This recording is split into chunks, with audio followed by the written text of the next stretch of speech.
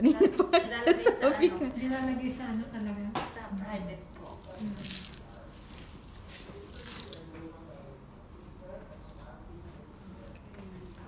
Pero depende pa yan ha, para lang ma-secure. Pero Kasi yan yung ginagawa rin yan. Yes. Kasi masakit kasi yan pag Kala ko caregiver lang. Siya, ito dapat nakahang to sa bed. Mm, kasi dyan yung ihi. Ay, labasan ng Love hindi. Basa mo.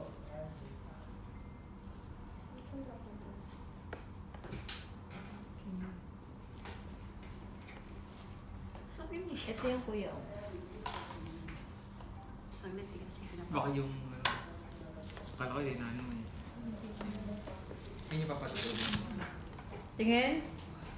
Doon sa dulo din yung ano niya. Kasi kailangan hindi siya magalaw. Kasi pag nagagalaw. Sabi ko nga sa natin yung brown, hindi daw pangit. Saan ba yan ba? Sa side, dito. Never ako makapadato dyan. Back, kapa-full back ako pero never sa... O dito, sa side na to. Carry lang. Depende naman sa'yo sa moment. Mahilig kasi ako mag-option. This is the denture cup. This is where you will place the dentures sa kukunin mo sa bibig ni patient. So, take using the Not tissue. Gusto mong kumakain yung tissue. The gauze. Gauze pad. Okay, take. Okay, ah. and then put it here. Kunwari, this is the dentures. Another one. Down. Take. And this one. Okay? Ngayon, kung ang ngipin niya ay wala na natira, puro dentures na lang siya, offer a mouthwash. Pero kung may mga natira pang mga ngipin, ng ngilan-ngilan, you can do the oral care for conscious patient or independent. Kung ano ginawa kanina. Ganon. Then, si dentures go to... Saan ka pupunta? Saan? Mushroom. Okay. For example, this is here. Washroom. This is the sink. Okay. This is your denture cup. Place it out. Place here para if ever may tubig, hindi mababasa ang kanyang bed. Get a use, make sure you're using a gloves, ha? So, inspect the mouth. Check for the gag reflex. Check mo. Ayan. Okay. Ayan. Okay? Naintindihan? And then after that, clean, remove the gloves, and then change your gloves again into new. Okay? Ngayon, instead na may toothpaste, water na lang. Pwede rin naman may toothpaste, pero konting toothpaste lang. Okay? You can use toothpaste, pero so, small, small, small amount lang. And say, this is a toothpaste. So, konti. Siyempre ito, sponge to. So, basahin mo muna. Okay? Paano ka mag-brush? Same din. Paano? Front, side, side, inner, outside. 45 degrees side, inner, outside. Okay, kung may suction, kung may tubig, suction. 1, 2, 3, tooth, suction. 1, 2, 3, suction. Remove. This is the suction din. Suction to. Ito kasi may uh, suction din siya, pero uh, kinoconnect din to sa suction. Ito, 2 in 1. Tooth, soft-toothed. We call this soft-toothed. Okay? So, same. Uh, down. May tubig, suction. Hindi mo pwedeng stinging suction ng kaganyan. Okay? Kailangan nakaalis siya. Okay? So, yan, inner. 45 degrees, inner. And then, okay na, may toothpaste na for example, ah, syempre rinse mo. Paano mo siya pipigaan? So, pwede dito, ganyan mo lang siya. Okay? Mawala yung fluid niyan. And then, rinse, same. Side, side, side. Suction, may tubig. Okay, suction. Yeah. Suction. Okay, make sure wala kang natirang tubig kasi pag binalik mo sa original position at may tubig, masasamid yan. Okay? Don't forget to clean the tongue also ha kasi minsan kahit walang kinakain yan, may puti-puti sa dila. Ma'am, bakit Okay. kaya yan yung gamit? This one? Bakit, ga bakit ba natin ginagamit ang soft toothed? Um, kasi ito foam. Soft siya. Okay? Kasi kapag yan is stimulate pag brush ang ginamit, do okay lang naman ng brush kung walang soft toothed. Pero we use this one kasi para hindi ma para ma-avoid yung uh, tawag dito yung aspiration. At least kasi yung foam masisipsip niya yung fluid. Unlike yung brush kasi uh, yung brush is uh, ganun-ganun lang siya and then niya masisipsip yung tubig. Unlike ito, pwede niya masipsip yung tubig. Okay, to prevent the aspiration. So, same ulit. Rinse, okay na. Siyempre, hindi mo naman mapapagargle yan. Just put a mouth, lip balm. Okay, kung walang restriction. Kung hindi restricted sa kanyang care plan. Okay, after that, you can keep this position or you can put it back sa same, sa original position niya. Okay, so remove. Okay, kung may kuto siya, okay lang siya na. okay lang yun na ituloy mo yung ah, hair shampoo. Naka-gloves ka pa rin, ma'am? Yes, the whole setup ng, ng, ah, ng, ng hygiene for patient is you always have to use a gloves. Okay? So, syempre, rinse mo muna, wet the hair, sorry, wet the hair. Basahin mo muna, apply shampoo, get the shampoo here, pindot, pabulayin sa kamay, at ganon. Massage mo ng konti. Okay? Okay? Nan, rinse. Rinse. After rinsing, sabi niya, I want conditioner. You can put conditioner. Ma'am, question lang po. Um, Saan yung ipe-perform yan? Sa bed niyo? Sa bed. Bed bath nga eh. Okay. sa bed. Sa bed. So, yan. Conditioner. Pero, depende pa rin yan sa care plan ni patient kung allowed ang kanyang conditioner. Make sure you will use a, uh, paki ano naman yung ano, yung computer. Ay, meron yan, paki ano yung computer. So, rinse. And then, remove the shampoo board. Get a towel. Para yung bigger towel. Yung bigger towel. Siyempre, you have to dry. Okay? Remove this one. Don't, as much as possible, don't remove this yet. Okay? So, dry. Okay? And then, comb mo si patient. Suklayan mo. Or brush mo yung buhok niya. Hanggang sa makip and dry. So, okay na si patient. Let's say, dry na siya or hindi pa siya may dry lang. So, you have to keep it dry. Okay? Then, remove this one. Remove this one. Position your patient in sitting position muna.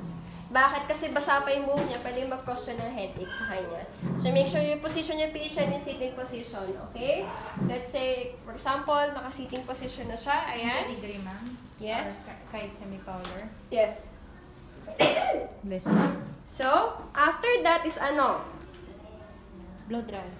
Yes, pwede mo siyang i-blow dry kung may blow dry sa hospital. Okay? Dry. You want volume, Huwag ma'am, or mo curly? umabot sa kalbutin na lang siya. So next, after that is you proceed with the saan? Body. Not yet. Hands. Mukha muna. Face muna. Ah, face muna. Okay, so now we are done with hair. There's a lot of towel and small towel here. So, pwede itong isa. One, two, three. As much as possible, maraming small towel or hand towel. Okay? So, remember, ang face hindi mo kailangan ng sabon. Pwedeng mild soap pero walang restriction sa care plan niya. Okay lang yun. Okay? Yun na lang ang laging tatandaan. Depende sa care plan. Okay? Start with the eyes. Okay? So, this is your hand towel. Okay? So, first is wash. So, may principle tayo. Wash, rinse, and dry. Okay? Yun ang principle natin in bed bath. Wash, rinse, and dry. So, wash with plain water. Imagine, this is the planggana and with water. Okay? Wash. Pigain. And form a meat. Okay? So, pag ganyan, pag ganyan,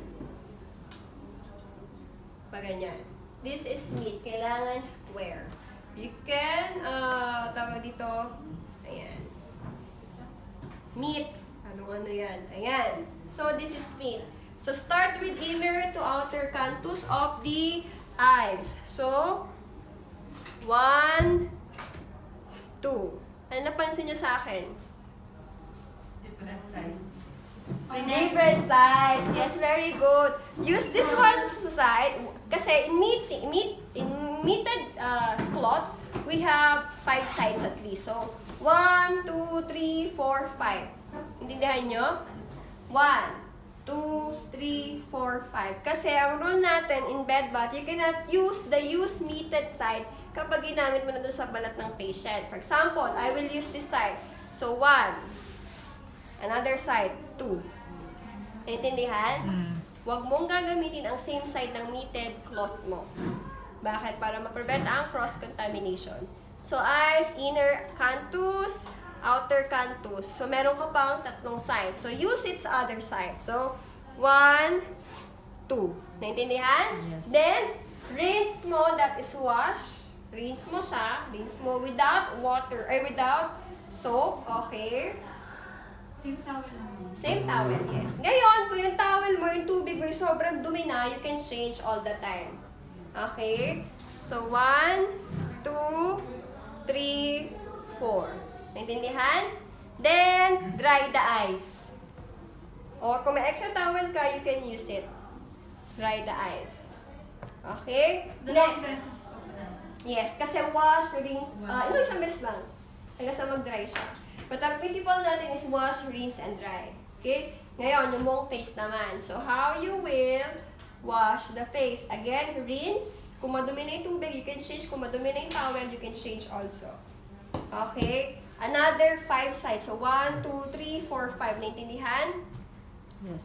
So, one, two, three, four, five. Okay? Naintindihan? Sige. One. Two, three, four, ito yung huli. Five. That is wash. Same with the rinse. Let's say na-rinse ko na siya. Same stroke. One, two, three, four, five. And then, dry the face. Wag to. Maghanap ka ng panibagong Yes, towel. Okay, then dry. So, we are clear with the face. Now, neck, ears, neck down. Okay? So, kung may tracheostomy siya, after mo pa siya, uh, let's say wala siyang tracheostomy. Okay? Meron siyang tube. Okay, so, same. Wash, rinse, and dry. But, syempre, yung tenga at leg may sabon na. Okay, wash, Towel din ang gagamitin. towel, yes. Same towel with meat. Get a soap here.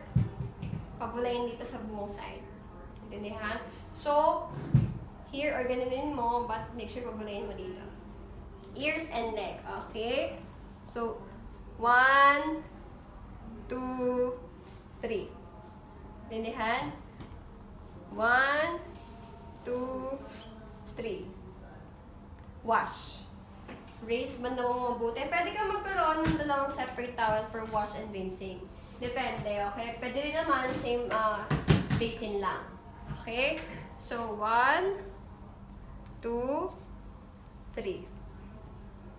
Intindihan? And then, dry mo yung kanyang tenga at leg. Pat lang. Pat dry. Okay, next. Siyempre, shoulder down. But you have to remove the clothes of your patient. So, remove the towel. Remove the clothes. Tinali niyo pala lahat to. Okay. Sorry. Ito na ako. So, open na labia, minora, labia majora. Okay naman talaga. Oo nga, open! Open wide. Okay. One stroke on the side. One stroke on the side. And then, front to back. Okay? Open wide.